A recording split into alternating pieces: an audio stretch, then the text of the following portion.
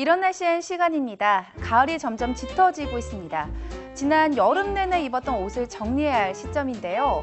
여름 옷은 얇고 밝은 색이 많아서 작은 오염에도 쉽게 변질되는 데다가 오랜 시간 보관해야 하는 만큼 꼼꼼한 관리가 필요하다고 합니다. 그래서 오늘은 철진한 여름 옷 관리하는 방법에 대해서 자세히 알아보도록 하겠습니다. 네, 첫 번째, 반드시 세탁을 한 뒤 보관해야 합니다. 여름옷은 육안으로 더러운 곳이 없거나 잠깐 착용했다는 이유로 세탁하지 않고 보관하는 경우가 참 많은데요. 보이지는 않지만 이 땀이나 피지, 노폐물 등 오염 물질이 묻어 있다가 시간이 지나면서 변색되고 결국 섬유 조직을 손상시키게 됩니다. 때문에 깨끗하게 세탁한 후 보관하는 것이 무엇보다도 중요합니다. 두 번째, 빨래를 할 때는 액체 세제를 사용하거나 여러 번 헹구는 것이 좋다고 하는데요. 한 번 보관하면 오랫동안 보관해야 하기 때문에 세제 찌꺼기가 남아있지 않도록 주의해야 합니다.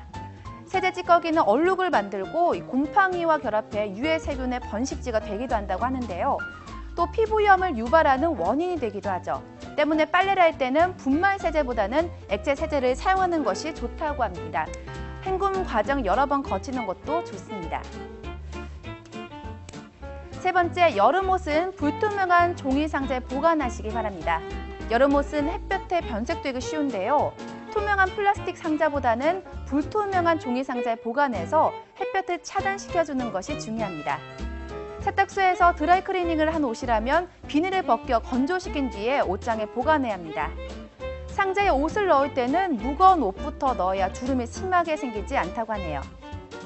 자, 마지막으로 살펴보면 방충제는 옷장의 윗부분에, 방습제는 아래쪽에 두시기 바랍니다.